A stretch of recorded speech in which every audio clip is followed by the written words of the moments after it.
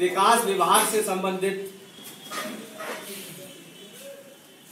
विभाग को पीआरडी विभाग का जो चलाने का कार्य सोपान किया जाना चाहिए। साथ ही नियमित ड्यूटी का प्रावधान भी जवानों को होना चाहिए परंतु ऐसा नहीं है। मोतीराम क्या मांगे हैं आपकी? आप क्या कार्यक्रम है? सर आज हमारे विभाग के जो है इकहत्तरवा स्थापना दिवस है।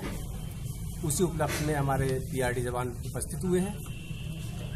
और इसके साथ साथ ही जवानों ने एक तरह से शपथ भी ली है कि माननीय नेताजी सुभाष चंद्र जी के आदर्शों पे चलने का मतलब जो है, वो करेंगे हम, आगे चलेंगे। और रही बात विभाग की तो मेन बात यह है कि पीआरडी एक्ट उन्नीस सौ अड़तालीस के अंतर्गत विभाग, गृह विभाग से जुड़ा हुआ था। उन्नीस सौ बावन में कल्चर ऑफ़ फ़िज़िकल में इसको विलीन कर दिया गया। कल्चर कल्चर ऑफ़ फ़िज़िकल को प्रांतीय रक्षक दल में विलीन किया गया। उसी समय से इन जवानों की, इस विभाग की दुर्दशा हो गई। युवा कल्याण विभाग के द्वारा इस विभाग को देखा जा रहा है। इस विभाग में किसी प्रकार का कोई अधिकारी नहीं है। जो कि वर्दीदारी अगर कोई अधिकारी हो तो वो उसे देख सके और इसके रूल्स एवं एक्ट को समझ सके। लगातार हम लोगों के द्वारा मांगे की गई कि क्यों ना हमारे लिए कोई ऐसा हमारा कुछ मुखिया बिठा दिया जाए, जो कि हमारी समस्याओं का समाधान कर सके। परंतु आज तक शासन, प्रशासन के द्वारा नहीं किया गया। ये बहुत दुर्भाग्यपूर्ण बात है। मैं आप सभी पत्रकार बंधुओं के माध्यम से कहना चाहूँगा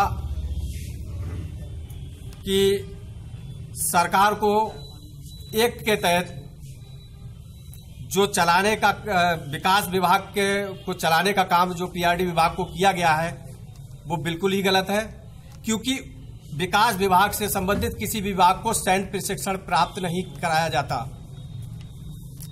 ना ही उसे किसी और उन्नीस सौ बासठ में बासठ तिरसठ में पीआरडी विभाग को ही, होमगार्ड विभाग को उत्तर प्रदेश में खड़ा करने का काम सौंपा गया था। उस कार्य को हमारे प्रांतीय रक्षक दल के जवानों एवं विभाग के अंतर्गत सभी लोगों ने अच्छी तरह से उसको अंजाम दिया, निर्वहन किया, आदेशों का पालन किया और उन्नीस सौ बासठ के बाद कुछ हमारे विभाग के जो बीओ लोग थे, अधिकारी लोग थे, वो होमगार्ड में भी चले गए उसमें समायोजन कर, करवा लिया उन्होंने।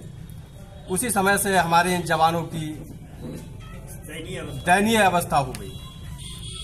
इस सब चीज़ों को देखते हुए जवानों को ना तो रोज़गार मिल पा रहा है और ना ही जवानों को किसी प्रकार की कोई सुविधा दी जा रही है। जवान अगर कहीं किसी प्रकार से कोई घटना घट जाती है तो उसको ना तो उसके परिवार के लिए कोई सहायता दी जाती है। बीमा की राशि इतनी कम है जो कि दस हज़ार रुपये मात्र दिए जाते हैं अगर कहीं किसी का कोई देहांत तो हो जाए ड्यूटी के दौरान। वो बिल्कुल ही न्यायोचित नहीं है। मैं आप सबके माध्यम से, मीडिया के माध्यम से कहना चाहूँगा कि हमारे जवानों के कल्याण के हेतु सरकार कोई ऐसा कदम उठाए जो कि एक वर्दीधारी विभाग की जो शस्त्र शस्त्रागार में जंग खा रहे हैं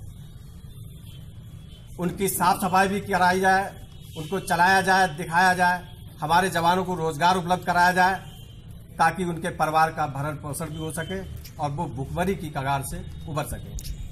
तो आज जो कार्यक्रम कर रहे हैं कौन सा स्थापना दिवस है इकहत्तरवा इकहत्तरवा